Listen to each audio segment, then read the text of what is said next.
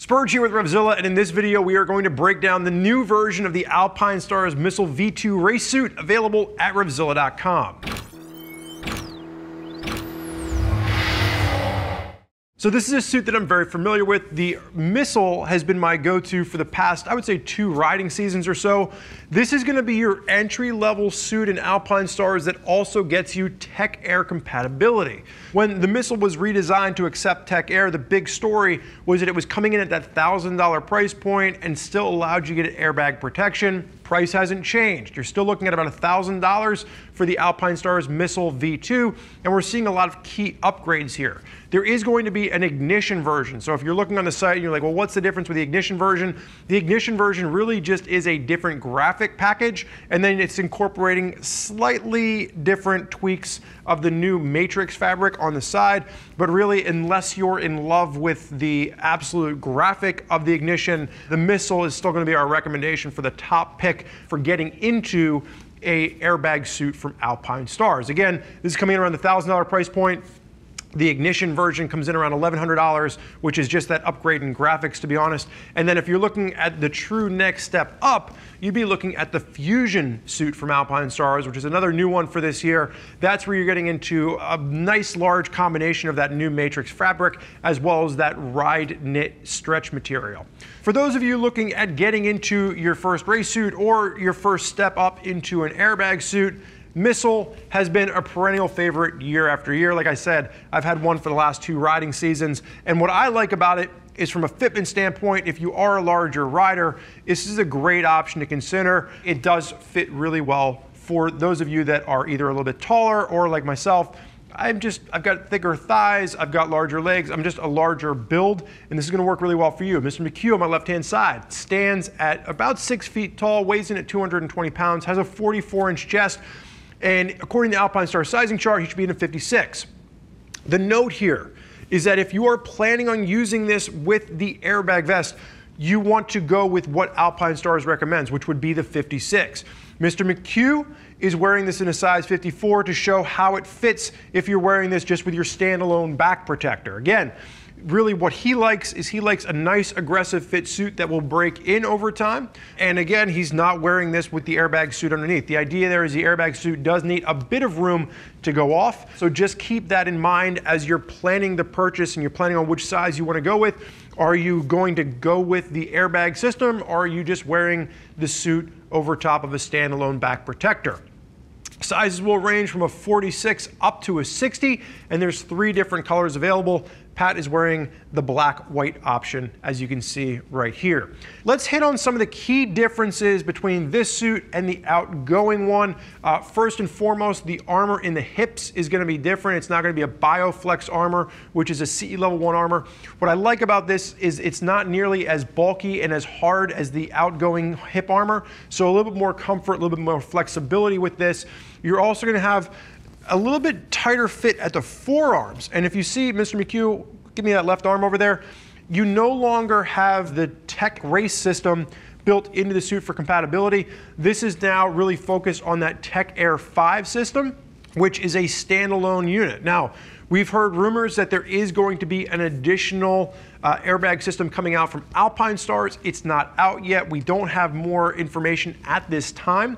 But really, the idea that I'm seeing Alpinestars move here is that this suit is really kind of setting itself up for what will be next in the airbag technology revolution that Alpinestars is bringing to the table. But as of right now, if you're trying to figure out which airbag system this new missile is going to be compatible with, this is going to be the Tech Air 5 system that you would want to go with at this time for this particular suit unlike the previous missile, which was designed to incorporate the race suit airbag system into the outfit itself. So this is still going to be that 1.1 to 1.3 millimeter grade cowhide.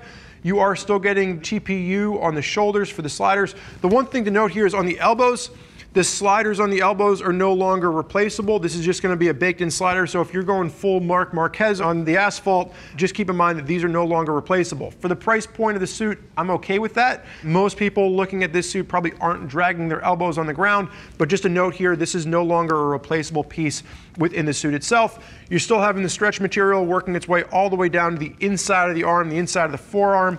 And the one note that's changed here that I actually really like is that the liner is still removable, but you now have a zip out liner. So one of the issues that I had with the previous version is after a long day at the track, you're sweaty, you go to pull it out. The previous version, the liner was removable, but it had a little Velcro straps at the bottom, and they tended to just come undone, and I ended up pulling out the liner more often than not with the suit.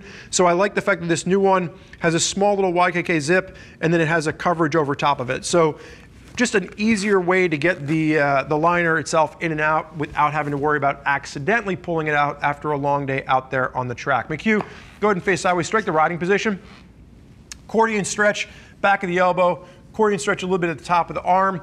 But the big story here is that the accordion stretch that's working its way down the body portion has been expanded a little bit. And you're gonna see around the yoke as well. This accordion stretch now goes all the way around to the, uh, the full side of the hip, combined with that CE level hip armor, that new BioFlex armor that's in there, added additional comfort. None of the other armor has changed in this, so it should note that you're still getting that CE level one protection at the elbows, the shoulders, and the knees baked in. And then if you were to go ahead and add in a Tech 5 airbag suit, that's when you take the whole thing and you bump this up to full CE level two protection. McHugh, go ahead and face backwards for me. Biggest change at the back is you're now going to have a more breathable stretch material at the top of the speed hump. This is going to help promote airflow from the top down into the back of the suit. So just better uh, ventilation with this. What you will notice, and we'll talk about this another bit at the front because I failed to mention it, the perforation has changed a little bit more localized perforation. You're not going to see that perforation go all the way to the edge the way you did on the previous version of the missile. This just helps with additional reinforcement and helps with the overall integrity of the suit. Keep in mind that no suits really in Alpinestars line are designed to have a slip-in back protector, so no back protectors included. You would wear a standalone back protector with this, um, or you would go ahead and you would add the Tech Air 5 or the Tech 5 Air airbag system.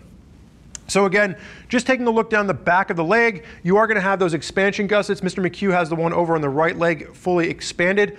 There is a little bit more room in the knee and the calf on this particular suit. So even with the, uh, the previous version, you know, I liked it because it did give me that, uh, that room that I needed in my thighs. Um, I did have to use the expansion gusset on the calf. So with this one, there is just a little bit more room naturally baked in even before you get into that expansion gusset. McHugh, go ahead and face forward for me. So this is what I was talking about earlier. You can see the perforation doesn't go all the way to the edge on this new this new missile. Not as much perforation, but again, I, I, think if you're looking at the extra protection that you have here, less chance of that perforation ripping at the seams. And then if you were looking at the ignition version, you would see a little bit of an extra strip of that new matrix material just kind of running down the side to promote a little bit of additional airflow without compromising integrity.